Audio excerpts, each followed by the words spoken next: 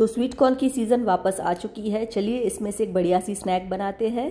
तो मैंने यहाँ पे दो स्वीट कॉर्न लिए हैं और इसको मैंने बॉईल करके लिया है। पाँच मिनट के लिए बॉईल कर लिया है। और अभी इसको इस तरह से सीधा रख के इसके जो कर्नल्स है, उसे हम नाइफ़ की मदद से निकाल लेंगे।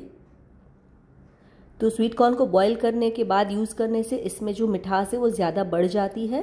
तो आप इसको बॉईल करने के बाद ही यूज़ करिएगा। और अभी इसको हम एक बोल में शिफ्ट कर लेते हैं। तो कप से देखें तो एक कप जितने स्वीट कॉर्न है ये तो मैंने यहाँ पे एक कप बेसन लिया है। तो बेसन को थोड़ा थोड़ा करके ऐड करेंगे और स्वीट कॉर्न के साथ अच्छे से इसे हम मिक्स कर लेंगे और जितना कप के हिसाब से स्वीट कॉर्न है उतना ही बेसन लेंगे। फिर इसमें हम डाल देंगे फाइनली चॉप किया हुआ प्याज, हरा धनिया और हरी मिर्ची।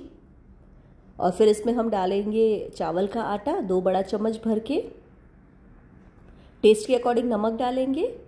चाट मसाला डालेंगे थोड़ा सा, आमचूर डालेंगे चटपटापन लाने के लिए, और लाल मिर्ची पाउडर डालेंगे तो कश्मीरी लाल मिर्ची पाउडर है, इससे कलर जो है एकदम मस्त आएगा। पानी डालेंगे, पानी थोड़ा सा ही ऐड करेंगे, सभी चीज़ों को अच्छे से मिक्स कर लेंगे। तो यहाँ पे जो बैटर है थोड़ा सा स्टिफ रखेंगे, और तेल को भी गर्म करने के लिए रख दिया है। तो हम बना रहे हैं क्रिस्पी कॉर्न भजी। तो बारिश का भी मौसम आ रहा है, और बारिश में ये वाली रेसिपी तो बहुत ही मस्त लगती है। स्वीट कॉर्न के भजिया क्या आपने कभी खाए हैं? मुझे कमेंट सेक्शन में ज़रूर बताना। और यहाँ पे हमें छोटे छोटे भजिया बनाने हैं ताकि ये एकदम ही क्रिस्प बने। तो इसे हम फ्राई होने देंगे मीडियम टू हाई फ्लेम पे, जब तक कि अंदर से कुक हो जाए, बाहर से बढ़िया सा गोल्डन ब्राउन कलर आ जाए। तो फ्लेम जो है मीडियम टू हाई रखेंगे। तो यहाँ पे जो भजिया है, अच्छे से फ्राई हो चुके हैं। एक और चीज़ करेंगे, इसी गरम तेल में हम डाल देंगे हरी वाली मिर्ची। मिर्ची में स्लिट लगा के डालेंगे और मिर्चियों को भी फ्राई कर लेंगे। तो गर्मा गर्म भजिया और उसके साथ तली हुई मिर्ची आ हा हा बड़ा मज़ा आ जाता है। तो चलिए इसे निकाल लेते हैं। इसके साथ मैंने एक लहसन की सूखी चटनी भी बनाई है। इसे आप भजिया के ऊपर छिड़क के खाइए, बहुत ही मस्त लगता है। तो ये वही चटनी है जो हम वड़ा पाव के साथ अक्सर खाते हैं। तो इसके लिए बेसन लिया है आधा कप, पानी डाल देंगे थोड़ा सा, नमक, हल्दी और लाल मिर्ची पाउडर डालेंगे। अच्छे से इसे विस्क कर लेंगे और इसका एक सेमी थिक बैटर बनाएँगे। और तेल जो है, ये भी अच्छे से गर्म होना चाहिए।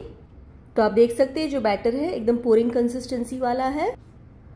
गरम तेल में इसे हमें सावधानी से फ्राई करना है। इस तरह से इसे हम पोर करते जाएँगे।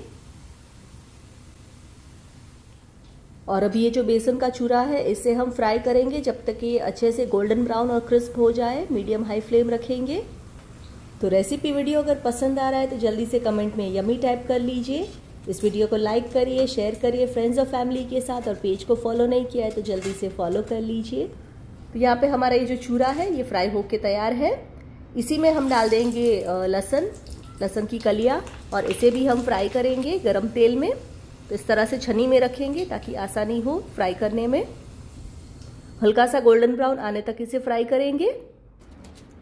और अभी इसे हम ट्रांसफ़र कर देते हैं एक ब्लेंडिंग जार में। इसमें हम डाल देंगे लाल मिर्ची पाउडर इससे कलर अच्छा आएगा और तीखापन लाने के लिए मैंने इसमें डाल दिए हैं चिली फ्लेक्स और इसे हम पल्स मोड पे ग्राइंड कर लेंगे। तो यहाँ पे हमारी लहसन की सूखी चटनी जो है, ये तैयार है। और कौन भजिया भी तैयार है। इसे आप सर्व करिए गर्मा गर्म चाय के साथ।